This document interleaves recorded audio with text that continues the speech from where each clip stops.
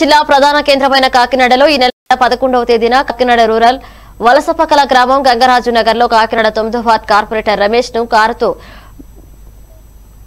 గుద్ది హత్య చేసిన సంఘటన ముద్దాయి. గురజాన వీర వెంకట సత్యనారాయణ అలియాస్ చిన్న మరియు అతని తమ్ముడు మైనర్ ఈ రోజు పిఠాపురంలో అరెస్ట్ చేసి మీడియా ముందు ప్రవేశపెట్టారు డిఎస్పీ భీమారావు. ఈ సందర్భంగా మాట్లాడుతూ తొమ్మిదో వార్డు కార్పొరేటర్ కంప రమేష్కు మరియు ముద్దాయి అయిన గురజాన తిన్నకు గతంలో కొన్ని మనస్పర్ధలున్నాయి. అంతేకాకుండా పలుమార్లు పడ్డ సందర్భాలు కూడా ఉన్నాయి.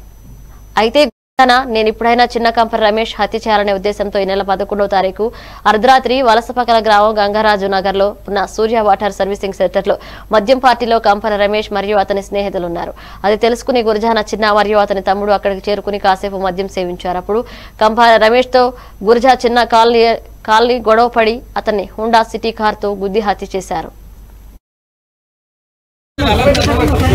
ఒకసారి అండి సార్. సార్ అలా నిలబెట్టండి పైన. సార్ పైన నిలబెట్టండి లైట్ ఆడుకోండి మాము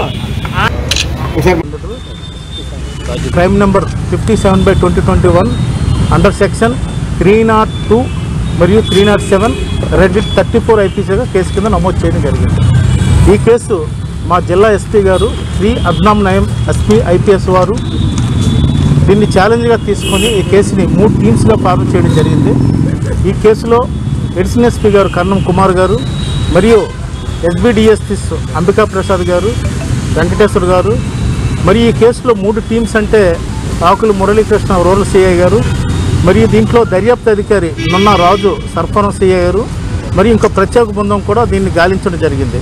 ఈ గాలింపులో భాగంగా ముద్దాయిలని పదిహేనో తేదీ ఈరోజు ఉదయం నాలుగు గంటలకి పిఠాపురం వద్ద ప్రధాన ముద్దాయి గురజాన వీర వెంకట సత్యనారాయణ ఇలియాస్ చిన్నను పిఠాపురంలో అరెస్ట్ చేయడం జరిగింది.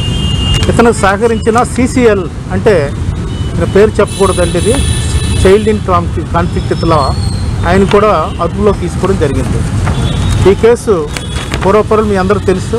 ఇది కారు షెడ్ వద్ద జరిగింది. ఈ కేసులో ముద్దాయిల్ని పగడ్బందీగా ముద్దాయిని అరెస్ట్ చేసిన సిబ్బందికి అభినందనలు తెలియజేసుకుంటున్నాం. ఈ కేసులో ముఖ్యంగా సీసీ ఫుటేజ్ తర్వాత క్లూ స్క్రీన్స్ ఫింగర్ ప్రింట్స్ తర్వాత దీంట్లో నేరానికి ఉపయోగించిన హోండా సిటీ కార్ను కూడా స్వాధీనపరచుకొని జరిగింది దర్యాప్తులో భాగంగా. అంతేకాకుండా దీంట్లో సీసీటీవీ ఫుటేజ్ చాలా ఇంపార్టెంట్ సేకరించడం జరిగింది. ఆల్ డీటెయిల్ అనాలిసిస్ కూడా చేసాం చేసాం దీంట్లో కూడా. దీంట్లో ముద్దాయికి తర్వాత ఫిర్యాది అంటే చనిపోయిన వ్యక్తికి చనిపోయిన వ్యక్తి కంపర రమేష్కి ఈ ముద్దాయికి కూడా పూర్వం పరిచయం ఉంది.